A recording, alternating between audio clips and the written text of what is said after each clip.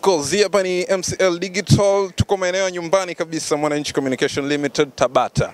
Exclusively tumepata mgeni na tunapiga naye story hivi. Mambo vipi bro? Ah, shwari shwari ndugu yangu. Issue ni aje? Aisee, Mungu ni mwema sana. Uh, kwa ambao wengi wanakufahamu lakini na naamini wanaokufahamu ni vijana tuseme kuanzia watu wenye umri wa miaka ishirini na tano hivi na uhakika. Uh, labda jitambulishe, sema nani jina? Ah, mimi naitwa Eleuteri Msiagi kwa jina la Mshala, ila jina la usanii najulikana kwa jina la Fanani au Teri Fanani kutoka Hard Blasters Crew. Tina wanaleta majungu, wachane nami ye ye hivi, kwa nini sema utaki kuniamini? Nyozi ziko pamoja mpaka siku ya kifo, wanze we au mimi ye ye ye Amini amini, tuko pamoja safarini, wala sigeuki. Nipo makini na yenye chuki, hivi hujabaini? Wanakudanganya maneno lukuki, eti napenda chini, eti nakuasi na ugutuki. Hivi naingia akilini, ni muda gani na ni lini? Si atakuwa pamoja, kama si uzushi ni nini? Wanga najikongoja, ninavyokupenda kwa ukalando, maana ametunga hoja. Tutengane iwe furaha, hivyo tazamia vioja, usiwaamini mara moja. Wengi vizabizabina wapika majungu na fitina, maguju wa shirikina. Pima vema tena kwa kina, tuje tukaachana, tapa msemo akenwe meno, itakuwa ina maana. Mara tu tumefata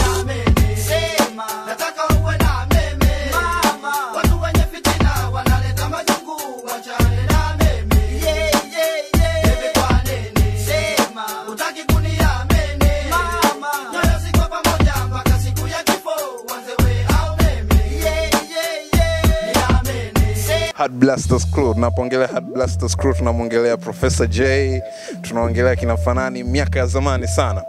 Fanani, nataka niongee na wewe kuhusu game ya hip hop kwanza. Uh, hip hop imekuwa na transition kubwa sana, imekuwa ikibadilika kadri siku zinavyoenda. Uh, tuanze kwanza, hip hop ina hip hop imebase kwenye kuchana, kupindua jambo, kuleta positivity, kuleta mawazo fulani positive sana. mapinduzi na maana ya kimawazo zaidi.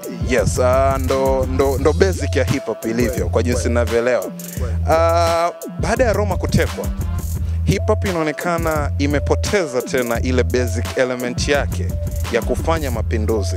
Wasanii wa hip hop sasa hivi watu wanasema sasa hivi wanaimba vitu vilaini sio tena vile vitu vinavyotaka kupindua jambo au vinavyoleta positive idea kwenye jambo. Tuongelee kuhusu hili kwanza. Unadhani ni kweli hip hop imeshuka? Uh, siwezi kusema hip hop imeshuka, ila tuseme kwamba kuna kipindi kuna tunapitia kwenye transition fulani, sawa. Uh, kama ulivyosema kwamba wasanii saizi wa hip hop wameacha kubase na vile vitu ambavyo vilikuwa ni vya msingi zaidi katika kazi zao au katika kuwakilisha hip hop, wamekuwa ni watu ambao wanaimba nyimbo ambazo kidogo ni tuseme ni laini, sio hiyo. Nafikiri imetokana na market wise, kwa sababu redio nyingi saizi ndo zimekamata hii platform yote hip hop. Kwa hiyo msanii ili aishi anategemea mziki wake na ili mziki wake uishi unategemea upigwe kwenye radios. Kwa hiyo anakuwa na hofu, nitatengeneza mwimbo huu mgumu, lakini ambao huwezi kupata nafasi ndani ya media. Kwa hiyo ni kwamba ni sawasawa na bure na yeye anategemea mziki, maisha yake yatakuwa katika hali ngumu. Kwa hiyo ni kwamba inamlazimu aendane na wakati, waendane na kile ambacho media wanataka, kwa sababu media wamekuwa ndio watu wanaoifosi jamii isikilize kitu. Unajua media ina nguvu kubwa. Media inaweza kusikilizisha kitu hata kama jamii ilikuwa itaki, lakini ikipiga kwa muda mrefu jamii itabidi itake tu, kwa sababu ni kitu ambacho kilikuwa masikioni mwao.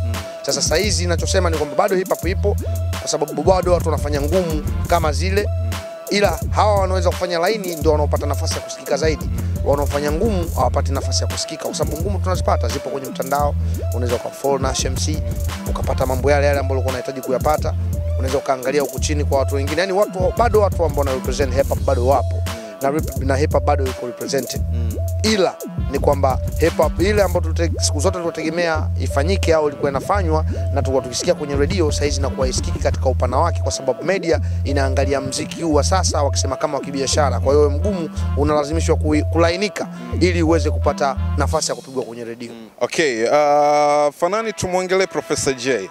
La, wewe ni mtu wa karibu sana na Profesa. Mmeanza, labda tukumbushe tu kipindi mnaanza movement ya hip hop na Profesa J ilikuwa kipindi gani, na tunapoongelea Hard Blasters mpaka Hard Blasters kuvunjika, au tujuze imevunjika au bado hipo, au tunategemea kumwona tena eh, Fanani na Profesa J na wengine kama Hard Blasters wakisimama kwenye revolution ya mziki inayoendelea sasa hivi?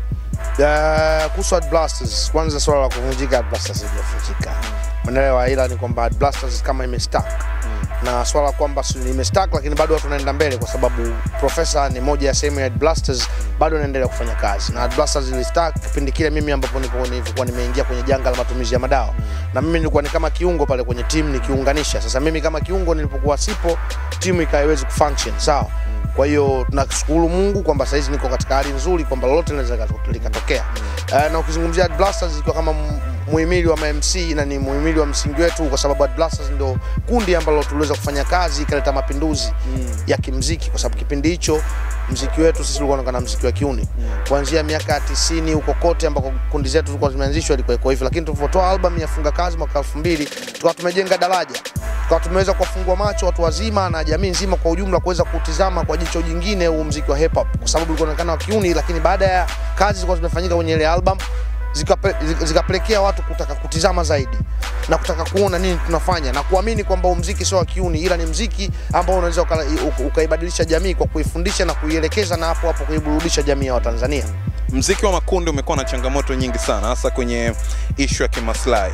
Tumeona kuachana na hip hop tu, sasa hivi tuna tu, tubaki kwenye hip hop, tuna weusi ambao wame, wamekuwa kwenye hip hop muda mrefu, wametengeneza organization yao mpaka kaita weusi, na tumeona waki, wakitoboa na wakipata mpunga, wakipata mkwanja kwa kupitia organization yao.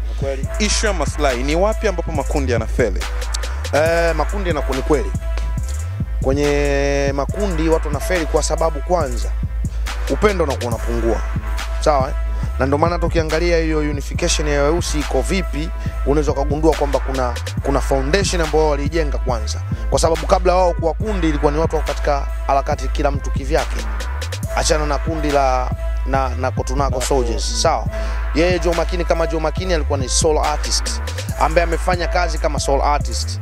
Baada ya kupata mafanikio akiwa kama solo artist, akaona yeye mwenyewe binafsi anapofanya solo mapungufu yanayokuwepo na anaona anapo anapoona makundi anapokuwa anafanya kazi tunafanyeje, lakini tayari alikuwa kishatoka uwezo wa kifedha anao. Kwa hiyo ilikuwa ni rahisi kuweza kuweka platform ya kundi likawepo, sawa, kwa sababu tayari pesa ipo, sawa wanaweza wakamanage moja mbili kwa wao wenzao, na huku ili kundi liweke baadhi ya vitega uchumi vya kuhakikisha kwamba kuna income inaingia, ili kundi lisiteteleke na kuweka mpango mpango kazi ya kwamba tunapeana nafasi katika kuweza kutoa kazi. Kwa unakuta safari hii tunamsapoti huyu, safari hii tunamsapoti huyu. Baada ya muda tunatoa nyimbo ambayo inakuwa ni nyimbo ya kundi, kundi lina groove. Kwa hiyo ni kuwekeana misingi mm. na upendo ndo unaweza kuongoza kundi, lakini kama kwenye kundi hakuna upendo, hayo yasingeweza kufanyika. Umeona jinsi gani weusi walivyokuwa na upendo wao kwa wao. Lord Eyes ameweza kupotea katika majanga tofauti, lakini wameweza kurudi na kuweza kumrudisha katika mazingira yalikuwa mazuri. Yote ni kwa- sababu ya love. Love ikitokea isipokuwepo, tunasambaratika. Nafikiri tumeona hata ilivyokuwa kwa, wadogo zetu Daznunda kwamba upendo ulikuwa unapotoweka, basi watu tunazidi kwenda mbali, lakini upendo unapokuwepo unaweza kutuunify na kutufanya tuweze kufanya jambo katika hali inayohitajika. kaka. Ukaribu wako na Profesa J na naamini unafahamiana vizuri ama ulikuwa ukifahamiana vizuri na mzee wake. Mmekuwa- kwa kiasi fulani. Kwa kiasi fulani mzee wake ninafahamiana naye kiasi tofauti na mama. Marehemu mama ndo nafikiri nilikuwa naye sana karibu kuliko mshua. Kwa sababu mimi kwenye msiba ndo ilikuwa mara yangu ya kwanza kuweza kwenda mikumi. Nilikuwa mara nyingi nikitaka kwenda na kuwa na miss kwa sababu moja mara mbili alafu unajua mikumi pia ni, ni mbali sio? Kwa hiyo kiukweli mzee mimi sikuweza kuonana naye labda uso kwa uso kuongea na ila baadhi ya washikaji wengi ambao walikuwa wanakwenda mikumi kwa, kwa prof walikuwa wanaweza kuonana na mzee wameona jinsi mzee ambavyo walivyo kwana nimeweza kupata taarifa nyingi sana kwa sababu nimekuwepo kuanzia siku ya uh, tarehe tumezika Jumanne tangia Jumatatu mimi nipo pale, nimekaa Jumanne yote, nimeondoka Jumatano. Kwa hiyo nimeweza kuona ni jinsi gani mzee alivyokuwa anakaa na watu. O, Profesa, unadhani ni wapi labda kumpoteza mzee wake? Wewe kama rafiki yake wa karibu, unadhani amepata unyonge wapi? Uh, sio profesa tu, hata mtu yoyote ambaye amefanikiwa au asiwe amefanikiwa, anapokuwa amempoteza baba mzazi, lazima uwe na unyonge wa hali fulani. Ila mimi binafsi yangu pia niliweza kumpa moyo prof, kwa sababu naamini Bwana nakuwa ametoa na Bwana ndo anakuwa anatoa, jina lake inabidi lidimiwe, na kila jambo ambalo Mungu anafanya nakuwa anafanya kwa sababu kwamba kazi ambayo mzee Aure alitumwa hapa duniani ameweza kuifanya, kwa sababu hadi mwanaye wa mwisho Koriombi Wile ni mkubwa saizi, ni mtu ambaye kishazidi miaka zaidi ya miaka ishirini. Kwa hiyo ni kwamba baba kama ni usia, kama ni courage na matumaini ya kuweza kuwatia wanaye na kuwafundisha jinsi ya kuishi, yani kishawafundisha wote vya kutosha, na kila mtu na maisha yake. Kwa hiyo nafikiri imempendeza Mungu hilo liweze kutokea, kinacholitokea. Tunaweza kutakiwa ni kushukuru tu, ndugu yangu, inabidi ushukuru. Tunakuangalia uh, utamwakilisha uta, uta, uta, uta vipi baba utamwenzi vipi baba? Ina maana kwamba nitamwenzi baba kwa kufanya yale aliyokuwa anayapenda, nitamwenzi baba kwa kufanya yale mazuri ambayo alikuwa anayafanya hapa kijijini, hapa mjini na hapa kijijini, kwa sababu hapa duniani kwa kifupi, kwa sababu kama hapo Mikumi yule baba ni well known. Yule baba yuko pale kitambo na anaishi vizuri na, na watu wa Mikumi na tulipata support kubwa sana kutoka watu wa Mikumi. Hilo lote lilizihirisha kwamba huyu mzee anaishi vizuri na watu, kwa sababu ilitokea kwamba kuna msiba ulikuwepo ambao utakuwa na wenyewe uzikwe siku hiyo hiyo lakini kwa heshima ya yule mzee watu wakaahirisha kuzika msiba wao ili yule mzee azikwe. Wamzike kwanza. Yeah. Sawa. Kuna kuna rumors zinasema Fanani ameokoka. Hebu tuweke sawa katika ile. Fanani ameokoka sasa hivi, Fanani kanisani sana sasa hivi. Sio rumors. Yeah. Maana tukisema rumors ni jambo ambalo halina ukweli. Mm. Eh? Kiuthibitisho kwamba mimi nimempokea Yesu kuwa Bwana na Mwokozi wa maisha yangu ni njia mpya maisha ambayo nimeichukua nime- kwa roho mkunjufu na ninaipenda kwa sababu ndio inaniweka sawa mpaka wakati huu na ndio ambayo inanipa matumaini kwa siku hizi zijazo na milele yote, sio? Kwa hiyo ni sawa, ni ukweli, sio luma yani ni ukweli. Labda tuseme ni ukweli uliozagaa. Sawa. Nilikuwa kwenye event fulani Chidi Benz akaitwa stejini kama guest surprise. Akaamsha moto sana, akafanya bonge moja la show, ikawa bonge moja surprise, watu wengi wa kutegemea. Nataka tumwongelee Chidi. Unadhani Chidi bado ana nafasi ya kurudi kama Chidi Benz King Kong aliyekuwa anafahamika? Kaka, kimoja nikwambie tu, hakuna jipya chini ya jua na hakuna linaloshindikana chini ya jua, kwa sababu mimi kwa upeo wangu wa sanaa, kwa kuweza kujua wasanii ambao Tanzania tumeweza kuwa nao, tumekuwa na bahati kuwa na Chidi. Chidi ni msanii mkali, Chidi ni msanii mzuri. Kwa hiyo kama tatizo lake linaweza kutatulika na akaweza kusimama vizuri, bado na nafasi ya kuwa bora zaidi ya pale alipokuwa. Cha muhimu ni kuruhusu mabadiliko yapite kwake, kwa sababu kuna kitu kimoja mimi ambacho nakigundua mpaka leo hii kwamba kuna njia, kuna, kuna situation nyingine Mungu unakuwa azibadilishi kwa sababu anataka kubadilisha mioyo yetu. Kwa na wacha ule ugumu ile situation tuweze kuiface na kuikabili huku tukibadilika mioyo yetu. Kwa hiyo Chidi ana nafasi ya kubadilika, hakuna kinachoshindikana kubadilika, na kwa kumtegemea Mwenyezi Mungu huyu hakuna anaolishindwa, na kuna jambo ambalo Chidi atajifunza kama ataweza kuvuka kwenye kwenye kwenye hili janga. Kuna jambo moja kubwa sana ambalo linaweza kawa ni zawadi katika maisha yake. Fanani, tukimalizia tu, kuna wasanii wengi sana wa hip hop kwa sasa. Swali la kiutani, Yeah. unadhani kuna mwana hip hop sasa anayemfunika Fanani kwa mistari? Ah, kiukweli kwa nini wasiwepo?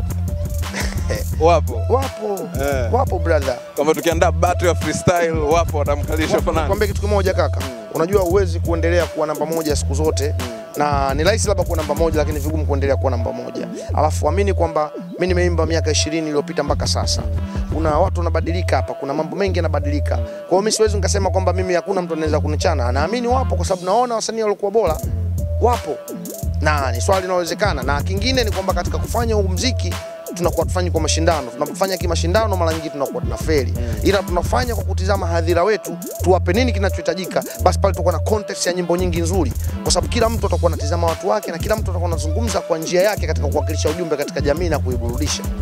Of course MCL Digital tuko na Fanani ametutembelea leo Mwananchi Communication Limited, big brother long time kwenye game wa sisi wa hip hop Tanzania, akiwa pamoja na kina Professor J, hivyo wengine at Blasters, wengine wengine tulikuwa wadogo. yeah ni kweli at Blasters kwanza tulikuwa watano. Nilikuwa mimi Fanani, alikuwepo Big Wile, alikuwepo Frankie Kolasa ambaye alikuwa anajulikana kama Tiger F, alikuwepo KC1, alikuwepo Tough Jam. Tough Jam alivyoenda Marekani, ile nafasi ikawa covered na Professor J. Kwa hiyo tukabaki watano, baadaye hao wawili kutokana na familia za kilokole na nini, kazi nyumbani, wakaacha music. Kwa hiyo sisi watatu, mimi Big Wile na Professor, ndo tukaendeleza gurudumu Okay. mpaka pale ambapo Fanani akatoka kwenye ukurasa. Basi Mtanzania anayekuangalia sasa hivi Fanani, labda umwambie neno lako la mwisho kwa Mtanzania wako mpendwa wako, mshabiki wako anayekutazama kwa sasa. Uh, neno langu la mwisho ni ujumbe wangu mmoja wa upendo. Wanasema kwamba as, as life is to live love is to give. Kama ambavyo maisha ni kuyaishi, basi upendo ni kutoa. Tuishi kwa upendo, tupendane. Upendo ndio unaweza kututoa katika kiza, upendo ndio unaweza kututanisha na maisha yajayo kuweza kufika na kumwona Mwenyezi Mungu wetu. Stay tuned brothers. exclusively ni MCL Digital. Tumepiga story na Fanani, tuko Mwananchi Communications Limited. Endelea kusubscribe kwenye YouTube channel yetu, usisahau kutembelea Facebook, Instagram pamoja na Twitter. Utaendelea kupata habari zote hizi kwa undani zaidi. Naitwa David Moses. Sina wanaleta majungu, wachane nami ye ye eve, kwa nini sema utaki kuniamini nyoyo ziko pamoja mpaka siku ya kifo, wanze we au mimi ye ye ye Amini amini, tuko pamoja safarini, wala sigeuki. Nipo makini na yenye chuki, hivi hujabaini? Wanakudanganya maneno lukuki, eti napenda chini, eti nakuwa sina ugutuki. Hivi naingia akilini, ni muda gani na ni lini? Si atakuwa pamoja, kama si uzushi ni nini? Wanga nijikongoja,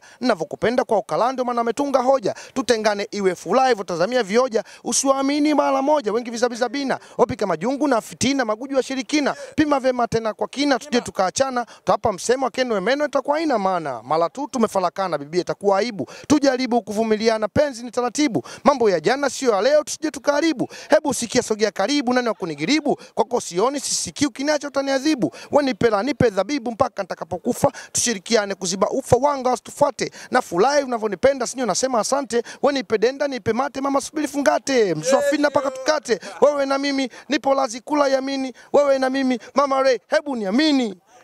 Wo. Here we go.